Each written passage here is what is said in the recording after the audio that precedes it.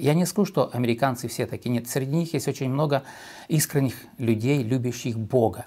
Но все равно, попадая в американское служение, иногда меня удивляло то, когда люди с поднятыми руками, закрытыми глазами поют «Славу Богу». Несколько песен спели, на этом все закончилось, они сели на свои скамейки. Выходит человек проповедовать, приглашает их к молитве, никто даже не дернулся.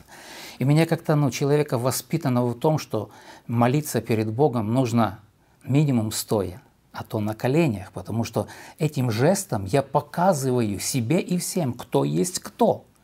Потом, а, как люди одеваются, идя в церковь, да?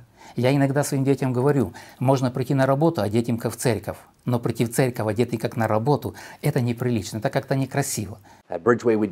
А в церкви Bridgeway мы сталкиваемся очень много с вторым и третьим поколением иммиграции.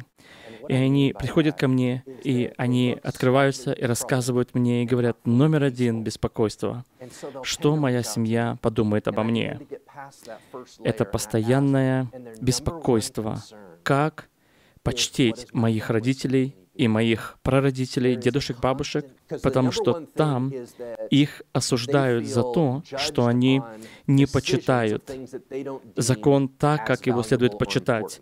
Делай это, не делай того. Одевайся так, не одевайся по-другому. И они говорят, это настолько сильно давит на них, что или они отказываются от христианства, или они ищут другое место, где они могут быть приняты и могут развиваться.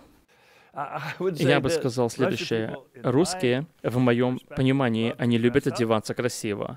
Они одеваются в Versace, высокие каблуки, очень красивая одежда. Мне это нравится. Я тоже люблю крутые вещи, и они стараются выглядеть круто. Американцы обычно одеваются просто.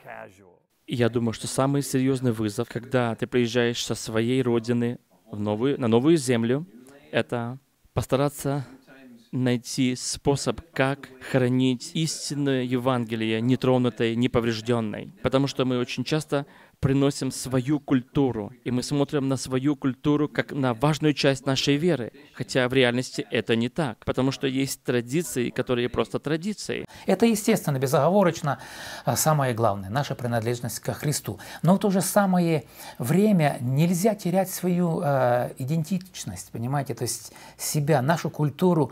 Э, нельзя стыдиться, как мы говорили раньше, того, кто ты есть. Есть две чудесная составляющая касательно славянской церкви — это Иисус и ваша культура. Эту часть, где Иисус, мы хотим всю ее. Но вот культурную часть мы хотим только лучшую часть в наших церквях.